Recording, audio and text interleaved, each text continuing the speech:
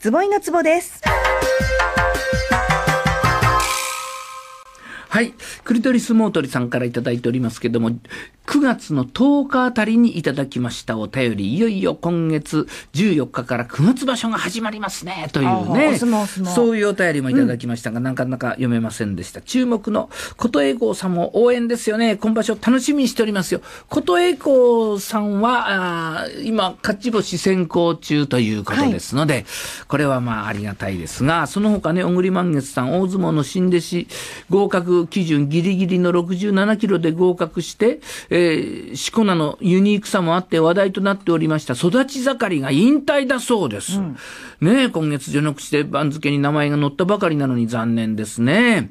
えー体調を崩して引退を決意したそうですが、まだ17歳、歌武蔵さんのように別の世界でね、大関横綱を目指してほしいと思いますと。やっぱりみんな注目しているだけに、はい目指せ80キロさんからも、なんやらね、育ち盛りさん引退だなんてね、と。ね、水をガブ飲みして3キロ増やして、ギリギリ合格するという、非常に苦労があったんですけどもね、と。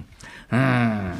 えーレッサー、桃色レッサーパンダさんからも、育ち盛りさん引退、びっくりしました。ちょっと残念。ねえ、という話題も今場所がありましたけれども、え3食作ってたまに昼寝する主婦さんからいただいておりますけれども、春馬富士さんがですね、という、今、休場したのかな？春馬富士はね。うん。えー、対吉風戦で曲げを掴んで反則負けをしました先場所のね、稀勢の里戦に続き2度目の反則負け、横綱史上初らしいです。春馬富士が左からあはたく癖があるので、またやるだろうと北の海理事長がコメントし、厳しく指導するそうですが、今に始まったことではないと私は思います。横綱には、勝てないから横綱なんです。勝つから横綱ではないんですよ。横綱は相手の当たりをバーンとまず受け止めて、いなさなくてはなりません。ね、朝青龍が横綱になってから、今の白鵬もそうですけれども、横綱は自分が勝ちたがります。ね、勝つのが横綱じゃない。ね、横綱相撲というのを見せてくれよと。勝たせないはい。なんか妙に体をふっとね、えーかわしてしまったりとか、うん、こう、はたきやらなんやらね、そんなもんでやるガシッというのが、どんと来いみたいな。はい。まあ、横綱には独特の風格が必要です。意識して横綱になってほしいと思います。横綱は小手先の技を仕掛ける、なんてね、うん、勝ってふーんとですね、顎を上げて相手を見下すな。